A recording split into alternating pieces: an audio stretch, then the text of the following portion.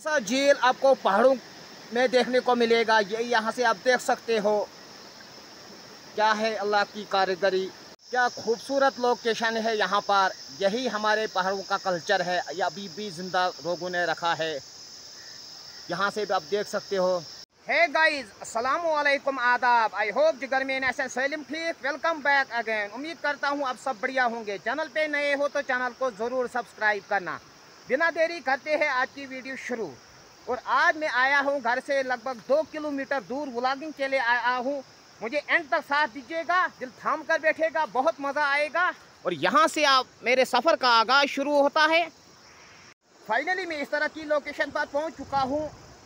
यहाँ से मुझे पूरा ये पुल क्रॉस करना पड़ेगा। और आज एंड तक मुझे साथ दीजिएगा, दिल थाम कर बैठेगा, बहुत मज़ा आएगा।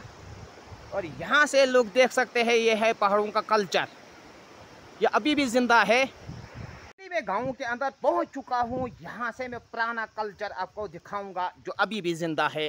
ये देख सकते हो आप यहाँ से।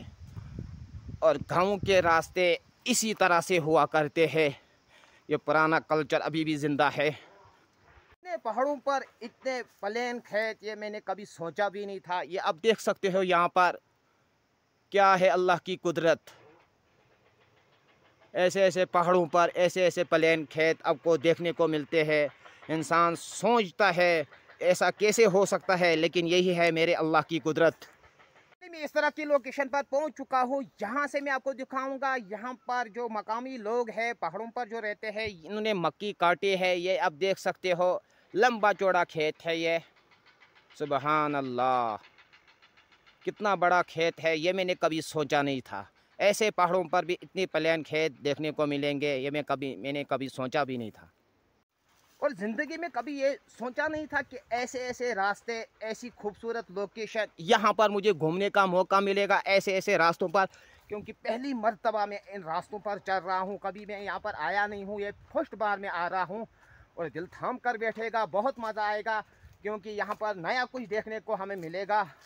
हमें एंड तक साथ दीजिएगा। ऐसे ऐसे रास्ते आपको देखने को मिलेंगे। ऊंचाई, चढ़ाई, और यहाँ से भी रास्ता है।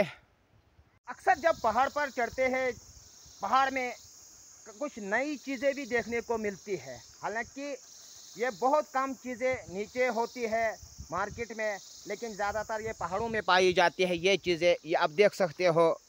इसका मिसवाक भी बन सकता है। अच्छे दांत इससे साफ़ होते हैं, ये पहाड़ों में ही ज़्यादा पाया जाता है।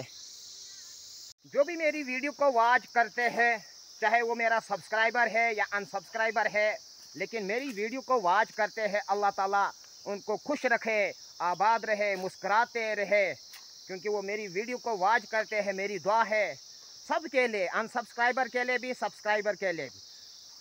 और यहाँ से आप देख सकते हो छोटे छोटे एक बार फिर आपको रास्ते देखने को मिलेंगे। और ये लंबे लंबे खेत।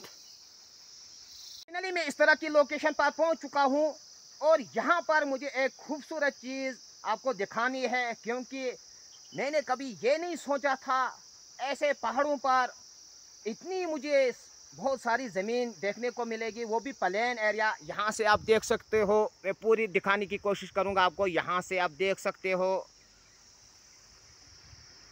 लंबी चौड़ी ये ज़मीन है, बिल्कुल प्लेन एरिया में ये ज़मीन है, ये भी है पहाड़ों पर।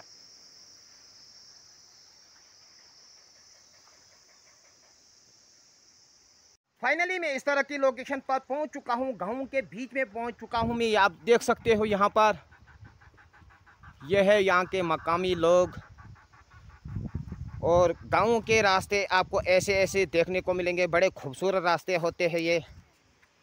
इन आठ तारीख को जो रिज़ल्ट आएगा इलेक्शन का अल्लाह ताला ने किसके हक़ में जीत रखी होगी।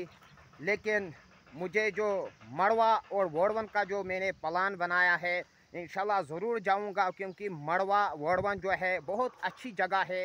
हर एक के दिल में तमन्ना होती है कि मैं मड़वा वोड़वन जाऊँ।